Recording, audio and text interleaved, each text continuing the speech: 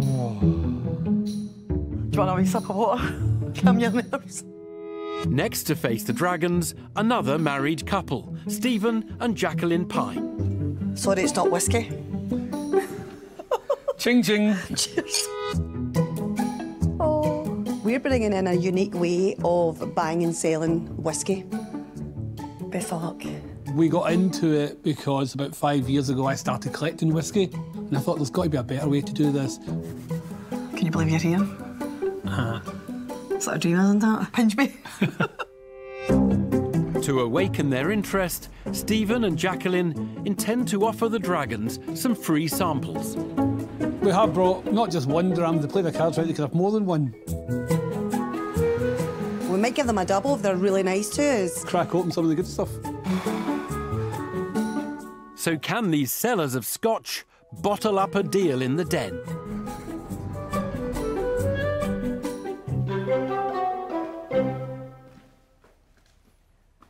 Good afternoon, Dragons. My name's Jacqueline, and this is my husband, Steven. And we're here today to ask for £65,000 for 10% of our business, Scotch Galore Whiskies. Scotch Galore was founded in 2019 to satisfy the needs of modern consumers in the selling, collecting, and investing in whisky. We provide a free to use online platform, and with every sale, we earn a small commission. Before Scotch Galore came along, customers would have to pay an auction to sell their whisky. And from the point of putting the whisky in to turn it into cash in their pocket, this would normally take about six to eight weeks. And it was an auction, so there was no guarantee on what the customer would receive. So this is why we want to offer our customers a one-stop whisky shop. And as Steven says, we're not an auction. The customer will fix the sale price, and that is the sale price that the customer will receive back once their bottle sells. And the sold bottle is picked up by our courier and with the buyer within 24 hours. The seller is also paid within 24 hours as well. So we will maybe have questions. um, and but before you do, we would like to offer you a wee dram. On ice? We've got ice and water in all of your boxes. Oh, right. I've never seen you so excited. An online platform for buying and selling whiskey is the brainchild of Steven and Jacqueline Pine. So is the water supposed to go in the whiskey as well? It- it's a, pre- Surely. personal. You can no, I, exactly, Deborah. The couple are seeking £65,000 Thank you. Thank you very much. Oh, my God. It's a triple. Oh, oh, she's got a plan in her, haven't you? I can see where this is going. in return for a 10% share in their business. Cheers, everybody. Cheers. Yeah, cheers. To your health. Slàinte. Never above you, never below you, always with you. Oh, Until now. They've already succeeded in raising glasses, but can Steven and Jacqueline go on to raise investment? Jacqueline, Steven. Uh, look, it is a marketplace, and I'm not in that world, but I'm assuming there are people around the world, serious collectors, who say, right, whenever there's a certain type of whiskey with a certain age, they buy it anyway. yeah, correct? correct. Our customers are everyone, not just Scotland, the UK, worldwide. Touker drinks whiskey every day. Does he? I've never been out with Touker and he hasn't been Only when I'm whiskey. out with Peter. I don't drink whiskey all year. Only when I'm out with Peter, he makes me drink whiskey. Really? He's a bad influence. Maybe a good influence? Could be either or. Wow. So should we actually, should we, you know, Yeah, we're we just can having a chat now, aren't we? Having a lovely time. Could I ask you a question? yeah, If you Touker. take the total value of every bottle of whiskey that you've got on your website, About half a million. what would it all come to in value? About half sales a value? million. Think as much as yeah, that, about yeah? half a million. What's your typical sort of value of the whiskies that people are listing and selling? A few hundred, maybe three, five hundred pounds. Um, Average price. well, the average price in the UK selling price for single, single malt, malt. is four hundred and thirty-four pounds Blimey. in auctions. But we have had customers Yeah. spending over twenty thousand pounds. I recently had a customer spend nearly thirteen thousand pound on a single bottle. How do you know it's not fake? Um, there is a lot of whiskey fraud. Yeah. Um, unless you open the bottle and you test it, that is the only way Yeah. to do it. And, And people are not going to do that. to do that. But also as well, we've got full traceability. So the bottle that comes in from the customer and it gets sold on, if that was to come back as a fake, that would then be a police matter and then it would go back to the source that sent it into us.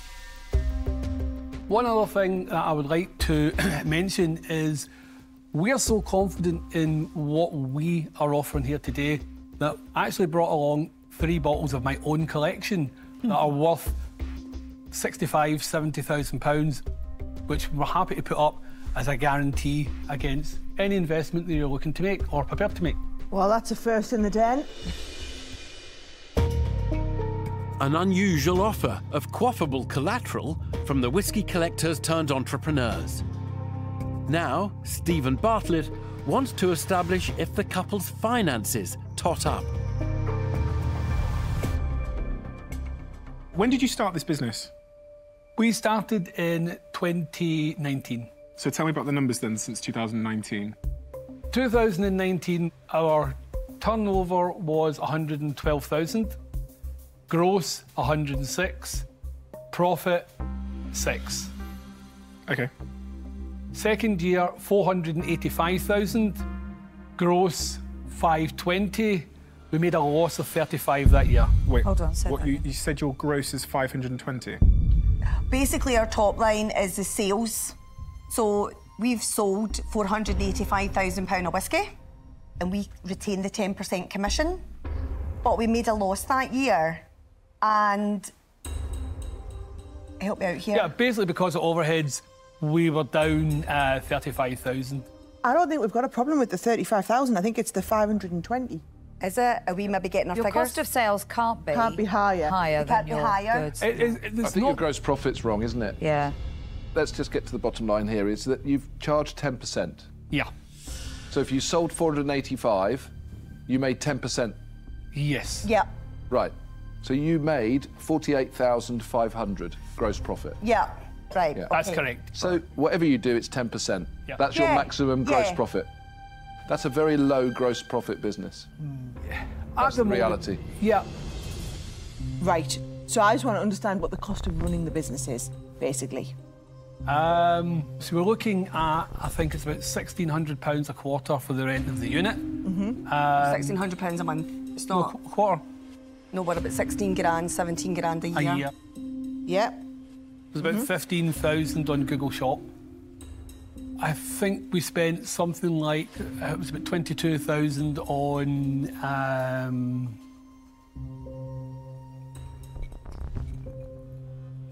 the shipping. Yep. Then we had costs for handling the transactions. I Right. can't put my finger on. We the don't know that. I know. I don't know the exact um, what they charge. Is it a couple of grand or is it 20 grand? I I would say an estimate if I was given that about 8,000. Right.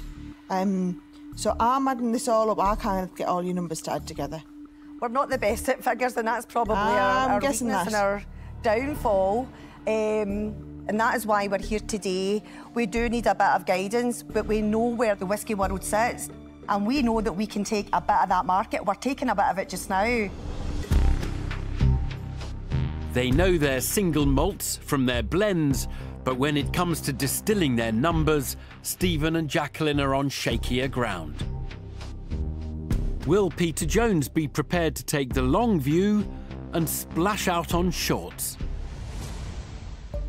Steven, Jacqueline, look, I suppose my immediate issue is the fact that you've put a glass ceiling on the business immediately because you can't do more than 10%.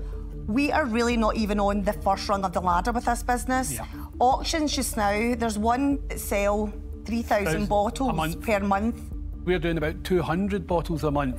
So the growth for us is there's massive growth. Well, it is, but if you double the size of your business Yeah. tomorrow, you still only generate 90,000 gross profit before any costs, before salaries, before marketing spend, before anything.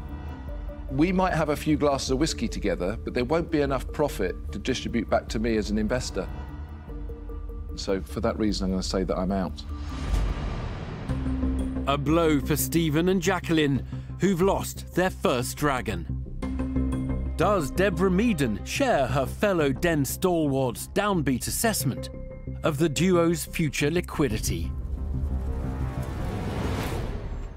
I've actually got the same comment, but for a slightly different reason. You are so tight on your margins, and your numbers are all over the place. We're sorry for not making that clear. Oh, yeah. And we obviously have an accountant. Um, Yeah, but, wait, so, so so when you've got a business with high margin, yeah, you've actually got a little room to think, well, okay, maybe we're a little bit out here, maybe we're a bit out there, but yours is so tight that if you get something wrong, it's too late for your accountant to say a month later, oh, did you know this is a problem? Yeah. You haven't got a lot of room to play with. Okay, Deb. And it was lovely of you to offer a, a guarantee, but that is, shouldn't be the reason for investing. Investment, yeah. Uh-huh. So I'm sorry, I'm out. Steven, Jacqueline, um, just want to say, first of all, congratulations on starting a business that is clearly got market demand. The, the, the bit I struggle with is when a marketplace becomes big enough, if yours does become big enough, the expectation for you to be able to authenticate these bottles if someone's spending 15, 20, 30,000 and protect against foreign counterfeits is huge. And what that does is it means that they're going to add extra operational demand to your um, your process. That's going to eat further into a margin that you just don't have. So for that reason, unfortunately, I'm going to say that I'm out. The thing that struck me is you are never going to make a lot of money taking the 10% out of this business. However, it is going to give you first refusal and first sight of the best deals in the market. And listening to you talk about it, you've obviously got a really good eye for that. Honestly, you can make a killing. But for you, not for me or any investor. So best of luck with it all, but I'm out. You know, it's interesting. 'cause I've drank that. Oh, I'll give you another Want one. another one? No, no, no, no. no. I said he Oh, could no, no, no, mine, no, he just hasn't got any advice. But but the one thing I, I've, I've listened to everybody, and the only way you're going to make money is through your knowledge of whiskey. Yep. That is your secret weapon. Unfortunately, as an investable proposition, for me, you know, it doesn't make sense. However, I wish you all the best. Thank you, And Mika. Mika. cheers. Thank you for listening. And I'm out. Thank you. Have a safe trip back. We Thank will. you. will. Thank you. We you. haven't Good drank luck. any whiskey, so we should be fine. Oh. I- I'm, I'm the one that's in trouble here. All the best. Bye. Right, nice to meet you. Bye bye. Sadly for Steven and Jacqueline, they must depart without the backing of a dragon. Oh, that didn't go the way we thought. No. Their failure to secure a deal may have left the entrepreneurs feeling a little deflated. But in the den, spirits remain high. Touker, you're pissed, aren't you? Oh, yes. no. Took a drink his quick. Like Go a get round, they another put one. ice in it. You put ice in that. Oh well. We tried. Mwah, mwah, mwah.